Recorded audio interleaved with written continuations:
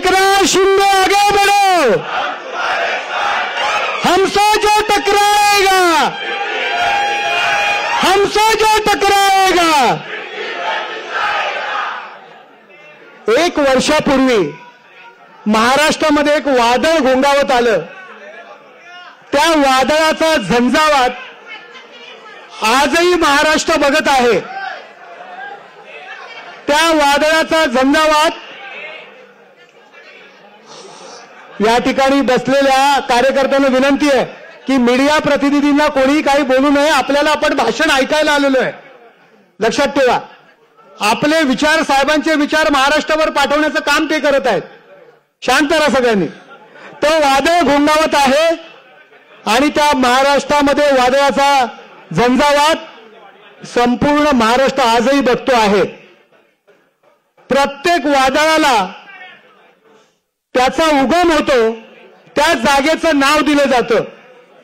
प्रत्येक वादळाला त्याचा उगम होतो त्या जागेचं एक नाव असं असतं असं म्हणतात. तर या झंझावाताला काय नाव दिलं पाहिजे तुम्ही सांगा?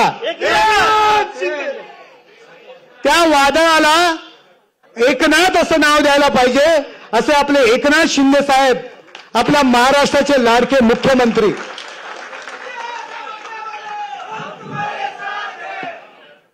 या हे आमचे या ठिकाणचे सर्व आमदार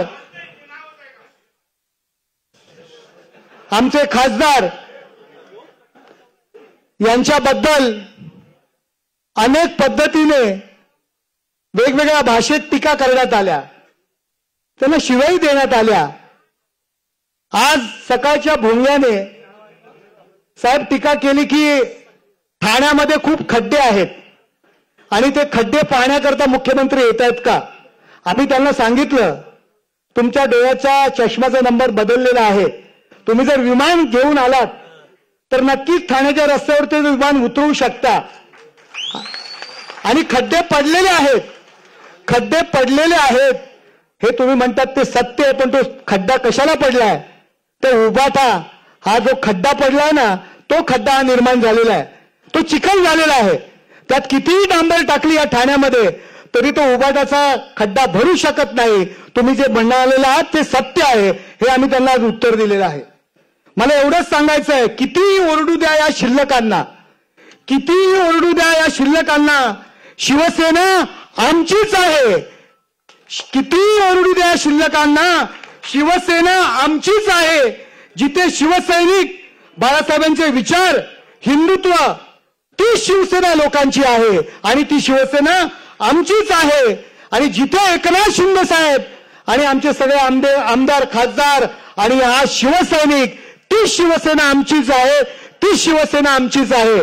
मी माननीय मुख्यमंत्री आणि आपले मुख्य नेते एकनाथ शिंदे साहेब यांना विनंती करतो की आपण या सर्व शिवसैनिकांना आज जो आपला जो आपण महाराष्ट्राच्या दौऱ्याची सुरुवात आपण ठाण्यातून केलेली आहे आपण महाराष्ट्रभर फिरताय अगदी नांदेड असेल गडचिरोली असेल कोल्हापूर सांगली या सर्व ठिकाणी आपण फिरताय.